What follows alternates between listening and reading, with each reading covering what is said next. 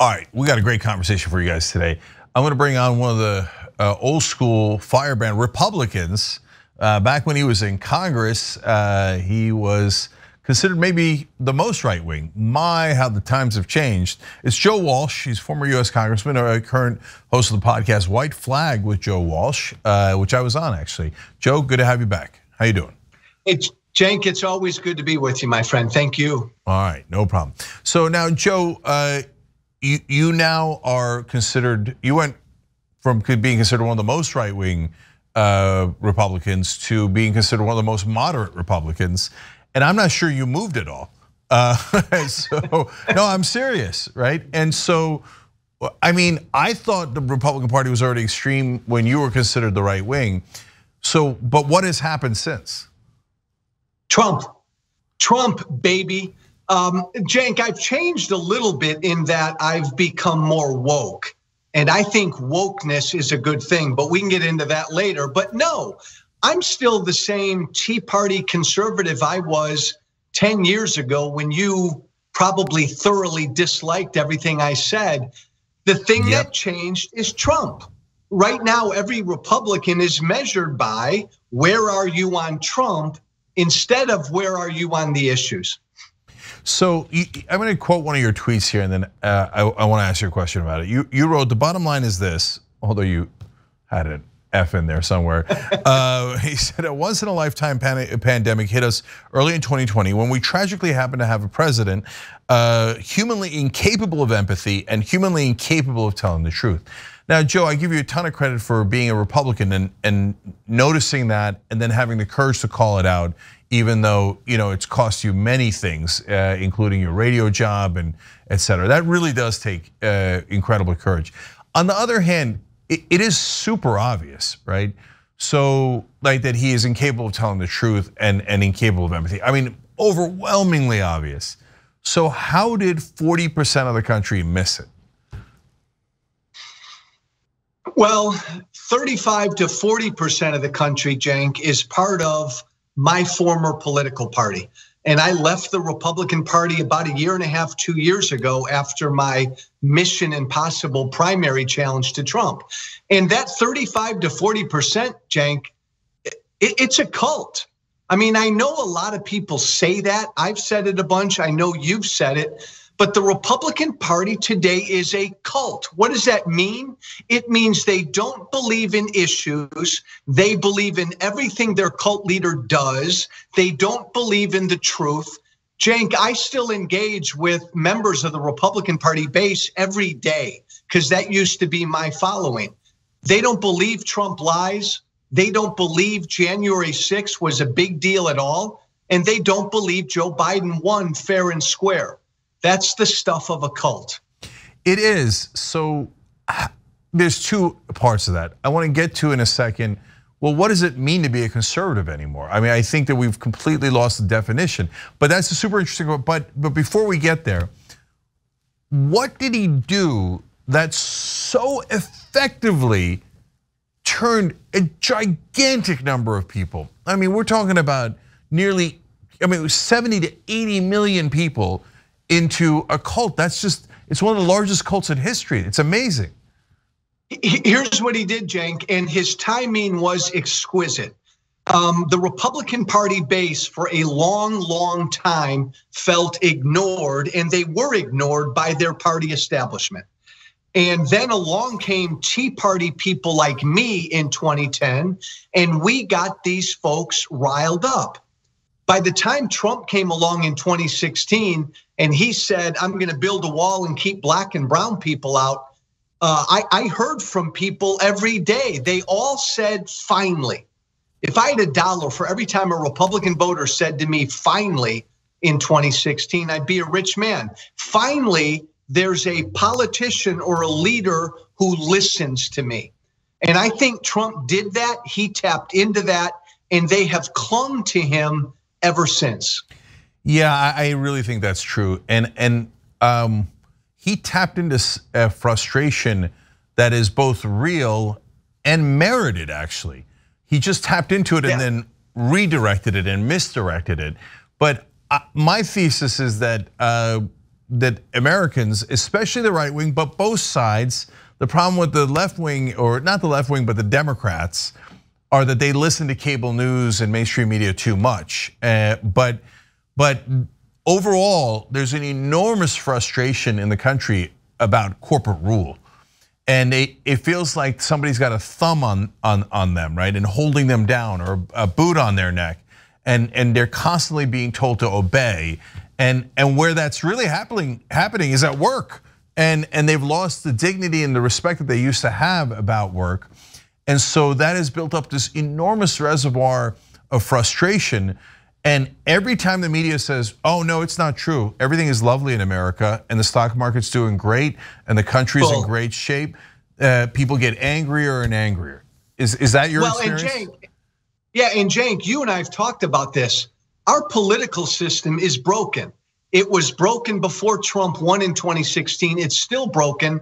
We needed disruption. Trump tapped into that. Now, Trump's an evil, horrible disruptor your guy, Bernie Sanders, Cenk, he tapped into that uh, that frustration as well. I disagree with Bernie on a lot politically, but Bernie would have been a good disruptor. Uh, but yeah, both political parties remain, I think, out of touch and broken. I, look the disruptor we need. Uh, funny enough, we agree on this too. Is is from? Well, I will go more specific and say from the left, right? And so because the left actually says you should have higher wages. The corporate rule is bad and it is tyrannical, and it's not the government keeping you down, it's your boss that's paying you $8.75 and putting uh, per hour and putting all these rules on you and not letting you have any self-respect, etc. right? And we can help you with that, with health care, with better wages, etc. Uh, but you know, now in a deeply ironic way, I gotta say when Trump said that it's that the fake news is, is the enemy of the people. I don't want to say there's truth there because journalism is super important and I don't like the framing of enemy of the people. But having said that, the news is almost literally fake in, in two ways. They, they, they put on the makeup, they get out in, in their outfits, they read a, a, a prompter that's been written for them, it's this fake neutrality where corporations are right about everything, corporate Republican, corporate Democrat, it doesn't matter. But God, you really uh, need the lower taxes for the rich, but you, you certainly don't want higher wages for the average guy. And we can't afford that. How are we gonna pay for that? It's a, and, and that kind of, it's almost a form of torture to keep telling people that their life is great when it sucks. And it, I think it almost, so it, I, I think it was mainstream media that drove the country out of its mind. And Trump just took advantage well, of it. Yeah, no, no, I, I, think that's a big part of it, Cenk. And, and look, the media is broken, and the media across the board is out of touch, as you've said constantly, with the concerns of regular average Americans. But once again, that's something that Trump very cynically tapped into. Look, Cenk, I voted for Trump in 2016. I didn't like him. I figured he was a goof but I recognized how I felt Washington needed a whole bunch of shaking up. Um, he's just a horrible, evil human being. Uh, I, I would have voted for. I would have voted for Bernie. I would have worked my butt off for Bernie this last time around, even though I disagree with him politically, because I still think our political system needs a hell of a lot of disruption. Yeah, and of course the the the folks who disagree with that most are Democratic leadership and yeah. Uh, cable news hosts. So uh, yes, and, and and they still, I mean, to this day, it just happened over the last two days. All the Democratic establishment is blaming Susan Sarandon for what's happening on the Supreme Court. So Hillary Clinton lost to Donald Trump because people loathed her uh, because she was the epitome of the establishment, and they think it's Susan Sarandon's fault. And they, by the way, to be honest, like Washington and, and cable news, they're in a cult too. They live in an alternate reality where Hillary Clinton is really relatable. And they think that Joe Biden is still, oh, oh shucks, that guy from average guy from Scranton, okay? Nobody believes that. That that's like 1990s mythology. He's lived in Washington for over 50 years. And of course he's the establishment. He tells his donors nothing will fundamentally change. And, and when you're telling, selling us this load of crap about how he's an average guy, Oh, he takes Amtrak. Oh, wow, wow, he doesn't have his own private jet. Um, they live in an alternate reality where everything is hunky dory and, and the people in power and the elites know best for you. And there's an open rebellion in the country, and it was just waiting for a con man to come in and capture it. Yes, and it was waiting for someone to come in and capture it. On my side, the right, they openly wanted an authoritarian and a jerk like Trump. But Cenk, I think you and I have talked about this. Maybe you disagree with me. I think Bernie would have beaten Trump in 2016. Oh. I don't know that he would have in 2020. In 2016, I think he would have beaten him. Um, but now the Democrats are in real trouble because they are still out of touch and Trump's running again. No, there's absolutely no question that Bernie would have beaten Trump in 2016. And I don't say that because I like Bernie and I dislike Trump. I say it because of the polling. So I know they didn't run a campaign against one another. That's the standard excuse that the mainstream uses, right? But on election day, Bernie had a gigantic 12 point lead over Trump in the polling. And, and in from the beginning of the prime, well, from the beginning of Bernie being known as an entity, right? When he started beating Hillary Clinton in some of the primary states, all the way through election day, general election day, Bernie Sanders always had a massive lead against Donald Trump. And, and Hillary Clinton was always tied with Donald Trump or a little ahead of Donald Trump in the polling. And every day they would get on cable news and lie. Every day, every anchor. Hillary Clinton obviously is the only one that could beat Donald Trump. And I remember screaming on, on yeah. air, that's just a lie. I could, and, and we would show poll after poll after poll and the country was in a populist mood. But the problem is, everyone that works in mainstream media is not populist. They're the definition of the elite. So they think it's normal that you protect the elite, and everybody loves the elites, don't they? No, they no, don't. And, no, and, and Cenk, that's spot on. What you just said right there is spot on. You and I may differ on a lot politically, but this is a populist moment in American history, period. And uh, the Democratic Party establishment didn't recognize that five years ago. My Republican Party establishment didn't recognize him. They wanted nothing to do with Trump. They still can't stand him, but now they are like they're a slave to him. But we're still in a populist moment. No question. So, but then, Joe, what does it mean to be a conservative anymore? Does it mean anything? Uh, it, it, means you're. It means Cenk, and I don't want to be cute. It just means you're homeless. It means you got nowhere to hang your hat right now, and I'm fine with that. I'm a. I'm an original free market, limited government, uh, expand legal immigration kind of a conservative. I've got no home, uh, and I think it's going to be that way for a while. Uh, I'm not a Democrat. I'll never go back to that Republican Party, Cenk, because I, I, think the Republican Party's done. I think it is now the Trumpist Party, and uh, that's ugly, bigoted, nationalist, protectionist. I don't think that's changing. So to be conservative now means you really got nowhere to go. But Joe, okay, so I, I, I totally believe you that you were conservative because you proved it. You know, you you uh, stuck to your principles, etc. Yeah. But there's like 12 of you, uh, and so so did did you guys misinterpret what the vote what your voters meant by conservative? I mean, given where they are today, yes, didn't the voters actually mean, nah, I just don't like people who don't look like me? Well, uh, Cenk, yes, but now I'm a very unusual cat the never Trumpers, these principled conservatives, they were as clueless as the Republican establishment. Remember, that wasn't me. I come from Trump world. I'm a populist. Uh, I left the gang. I got out of the gang. I got out of the Trump gang. But you're right, Cenk. The the all these principled conservatives, they were as out to lunch as the Republican establishment was. They did not recognize this was a populist moment and they got totally fooled by this demagogue. Yeah, no, absolutely. The, most of the, you're right. You're a very rare bird. the because uh, the almost all the never Trumpers are establishment through and through. Establishment conservatives, right? Yeah, neoconservatives, corporate Republicans. That's why they get along with the corporate Democrats uh, so well. That's why half of MSNBC uh, hosts yeah. and pundits are, you know, because corporate Republicans, um, and and so it, birds of a feather, if you will. Uh, so now, Um, do we still disagree? so yes. Okay, what what do you well, think we disagree on? No, you and I disagree on some fundamental policies. Um, but you and I are also both outsiders. I have so freaking much respect for you. You talked about it on our podcast how you walked away from the corporate media because you stuck to your truth. I lost my livelihood completely because I stuck to my truth.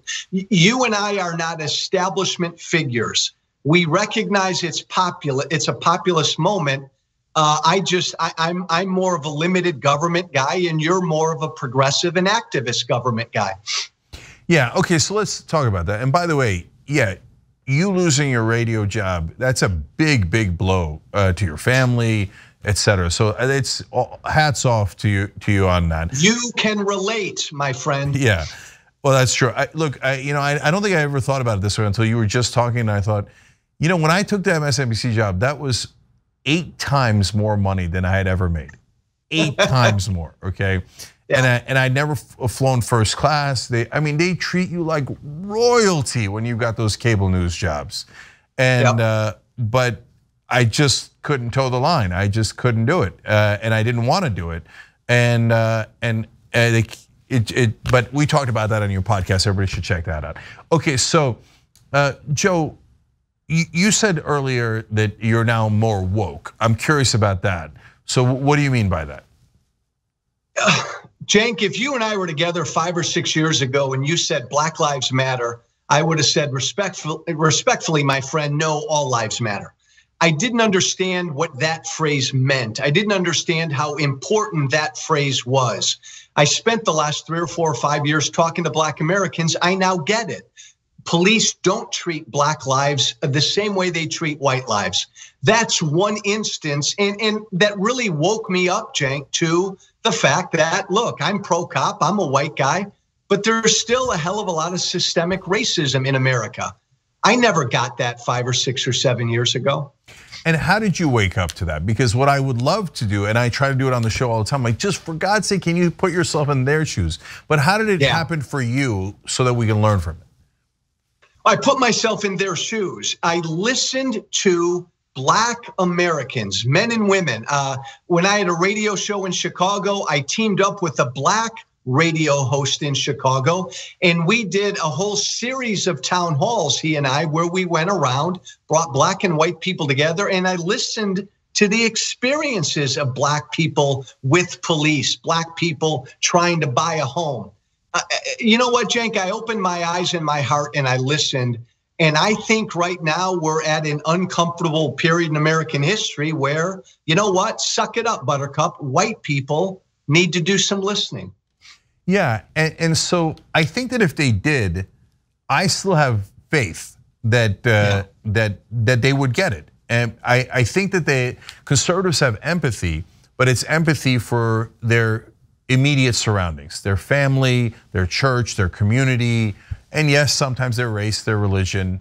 Um, but I think we can, I think that they could use that empathy on others. They just, we not have not broken through to their bubble. Well, Cenk, one point I'd make to my friends on the left, I'm woke and I'm proudly woke, but don't shove wokeness down our throats. Uh, educate white people, encourage white people, listen to white people, teach white people.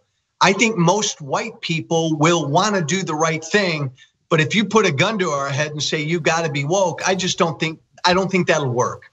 So like the name calling, et cetera, just uh, uh, immediately puts people on the defensive, and somehow yeah. instead, and this is the very very challenging part, and I don't know how to do it because their media has no interest in doing that. They do the exact opposite, right? They we did a segment just a couple of days ago. Uh, Tucker Carlson brings on Candace Owens. Candace Owens says blacks are the most murderous race in America, and so that audience that might be you know open to having empathy for others as you were doesn't ever hear it doesn't ever hear the black perspective instead they bring on black people to blame black people for all the problems so hey and, and Cenk, know this: nobody channels the Republican Party base outside of Donald Trump like Tucker Carlson does. And every night on Fox News, Tucker Carlson is throwing his audience a bunch of BS, a bunch of bigoted white nationalist crap. Uh, it is a real, real danger. Yeah, it's another thing we agree on, uh, which is uh, Donald Trump and Tucker Carlson are the two dangerous to our democracy. Yes. And and Tucker is a infinitely smarter version of Donald Trump. And that is yes. and that is way more dangerous. It's super obvious that people paying attention that Tucker Carlson's whole thing is an act. He he was never like that before. He was bow tie Tucker Carlson before, and he was part of the elites, etc. He's decided to take on this persona for some sort of uh, fascistic purposes, and it is really scary that because he is intending to head in that direction. Uh, it, it, it's scary, Cenk. And right now, I mean, we're a year out. I, I, don't know how the Democrats keep control of the House or, or the Senate. Right now, the Democrats are in a hell of a lot of trouble, and Trump's going to run again in 24, and he will be a formidable candidate. Well, if the election were today and Trump uh, uh, were running against Biden, Trump would almost definitely win. And yeah. And then very, very, very likely end democracy. So that's yes. that's why yes. our hair is on fire. You're from the you know your hair is on the fire from the right, mine is from the left, and at the same time, we can't get people to understand the severity of it and the urgency of it because they're too busy protecting the elites. Um, so all right now, yes. but but let's go to our disagreements. So you say limited government, Joe. There to me, whenever somebody asks, "Are you in favor of big government or small government?" I always find that to be an absurd question because uh, a friend of mine, Matt Stoller, who's well known in progressive circles, had this great analogy. It's kind of a weird one, but it really sticks with you. He says, "Okay, do you want a large pipe or a small pipe?" Well, you always think, well, it depends. What's the job, right? So, yeah, right for do I want big government in terms of a giant Department of Defense that constantly invades other countries? No, I don't want that big government. Do I want big government uh, that where the police, uh, you know, uh, mistreat African Americans on a consistent basis? No, I don't want that big government, right? So, but there's a second element. Well, but then, but Go then, ahead. Cenk, play that out. Do I want a big government that gives universal daycare or childcare to everybody? No, I don't want that kind of big government. Do I want a government, a big government that gives free college to everybody? No. Yes. I want a government that will provide for people in need, but not universal for everybody, if that makes sense. Yeah, no, it doesn't. Uh, good, we got disagreement. so, Joe, here I'll give you two examples on on free college education. Um, one is uh, the the GI Bill. So when they uh, came back from World War II, um, a lot of uh, folks, and remember that was a, a, draft, so it was all across the country, all different folks, and usually poor and middle class, and, and they got free education, and it built the, the greatest middle class the world has ever seen. And then my personal story, my dad. A unique time. Yeah, and my dad in Turkey actually was a dirt poor olive farmer and got uh, into college. They had to pass an exam. They didn't hand it out, right? But you had to earn your way in that sense. But then it cost nothing, and he went from an a, a olive farmer that had no chance at all to a mechanical engineer and built a business and contributed to the economy. So can you see why that kind of investment in the American people makes sense um, in terms of big government? And government, Cenk, should play a role in helping people go to college who can't afford to go to college. But I don't want government playing a role helping some kid whose mom and dad make two to three hundred thousand dollars a year going to college. I want that family providing for their kids. But kids in need, absolutely.